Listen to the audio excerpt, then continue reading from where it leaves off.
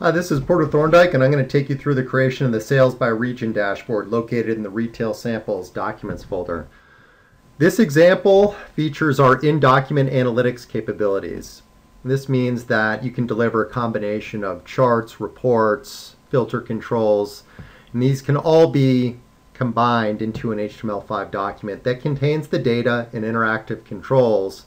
It allows you to interact with that document without maintaining a connection to a database without installing software or without being charged a user license.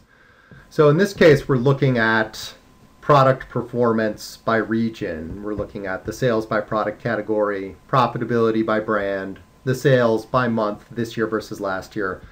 We've got detail in the data grid, and this is globally coordinated by region. So this is performance for EMEA, but if we want to look at North America, we can change that drop down if we want to interact with the data, so if we want to look at which products had the highest gross profit percentage, notice there's a lot of options that I get on each column. So I can sort by the highest, or if I want to see what is the average percent change of all of my products, I can activate different calculations. If I wanted to annotate this, I could write comments right on the data grid itself.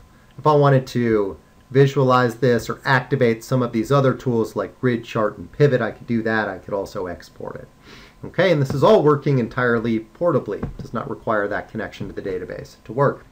I can also interact with the charts themselves. So if I wanted to isolate a couple product categories I can do a marquee select and I can apply that filter on all of the other data that I have in front of me. How would we build this example Okay, I'm going to start in document mode. and I'll select Retail Lite as my source. And document mode supports a variety of different output formats. Okay, PDF, PowerPoint, Excel, and Active Report. Active Report is the in-document analytics format, and that's what I'm going to select. I'm also going to go to the Layout tab and make this a landscape document. Important to note though that anything that I build right here, if you wanted that nice multi-object, multi-page PDF document, PowerPoint document, you could select that as the output format for any of these. Where I'm going to get started is I'm going to insert those charts onto the page. Notice I could do multiple pages. I could insert interactive controls, and we will do that. So let's insert a chart object, and this is a Pixel Perfect Designer.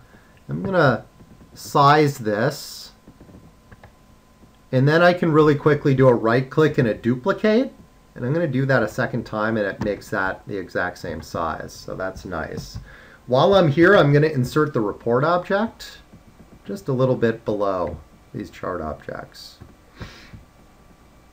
Okay, now let's start building. That first chart that we were looking at, sales by product category, is a donut chart. Let's go to the Format tab and go to Other, and we're going to select the pie grouping and the donut. And to create my donut chart, I'm just going to drag revenue onto that chart object and product category, and there's my revenue by product category. Next chart is a tree map. So let's select the tree map out of the other directory in the HTML5 grouping. And the tree map is great at communicating one or more measures in one or more dimensions using size and color and different grouping levels. To do this, I need a calculation of gross profit percentage. I don't have that, so let's create that calculation. I go to my data tab, I click on define, and I'm going to call this margin. And I want to go to my format tab and make sure that I've got a percent sign. Okay, and I evaluate this condition, which is gross profit divided by revenue and multiplied by 100. Okay, and that calculation gets added to my field list right here. Before I add in that calculation, let's drag in the brand and brand type dimensions. All right, so if I want to just start with brand type, and I want to look at the margin, I could drag this into size or color. Let's bring it into color, and let's make sure that the average calculation is applied here. So, you know, that right there is communicating something to me, the average margin for each brand type. But let's break that out now by the actual brands inside each brand type. And that's what tree maps are great for. And so that we can actually see the actual brands inside specialty or major, which ones are very profitable or not profitable. Okay, but we can also use a second metric because this, this is sizing all of these boxes the same even though they're different shapes. So if we also wanted to see what is the revenue that each brand type and brand produces, we can use size to do that. Okay, our third chart is a line chart, revenue this year versus last year. To do this, we need a couple more calculations. Let's go back to the data tab, click on detail, and this is going to be this year's sales. And I'm going to evaluate my condition of if the year is equal to 2015, then aggregate the revenue for that year. Else do nothing. And because last year is going to be the same with a different year, I'm going to copy that. Okay, so you notice that this year calculation showing up in my field list. Let's do last year's calcul uh, calculation, and that's going to be 2014. And now to do this, we want to just find our month field. And we're going to drag in this year. And we're going to drag in last year. And let's change this to a line. Do that by going to the Format tab and clicking on Line. There we go. We have our three visualizations as quick as that. How do I create this data grid? Well, the data grid combined things like what models are we selling? What product category do they belong to? What was this year's sales? What was last year's sales? There were a couple other calculations in there that we are going to need to create. To do that, we go to the Data tab. I'm going to click on Summary. The first one was the variance created by this year minus last year. Okay, and that is simply this year minus last year and that will be added to our data grid. The next was the percent change. And by the way, this demo is giving you the what's what, the who's who, what I think are some of the best calculations you could use. Things like sales this year, last year, variance, percent change, gross profit margin. These are great calculations to use. So let's create another calculation. This is going to be percent change. I'm going to make sure that this has got my percent sign in there. And percent change is simply the variance divided by this year's sales multiplied by 100.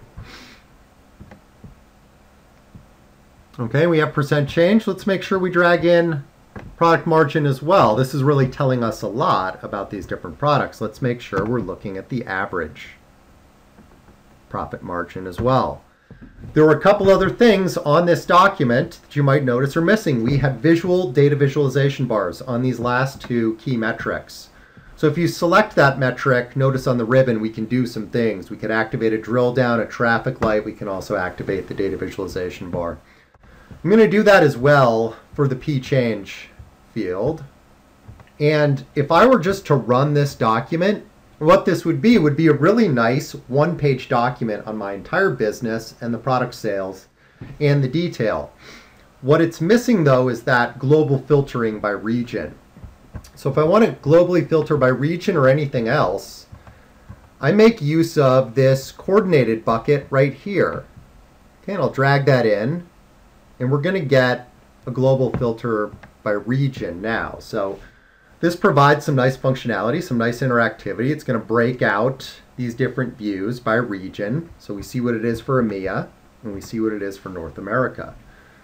Okay, but the other thing to be aware of, this coordinated feature, this global filtering feature, this is the technical capability that allows us to build these multi-page statements, whether it be PDF or in document analytics, and burst them out to hundreds, thousands of different people efficiently because we design the content in document mode, whether it be one or multiple pages, whatever's on that page. And then we coordinate it by an investor ID, a customer, a region. We pair that with an address book matching up that investor ID with an email address in one schedule. And we've got one document, one address book, one schedule, and these can be burst out to thousands of different people very efficiently. This has been creating the Sales by Region dashboard.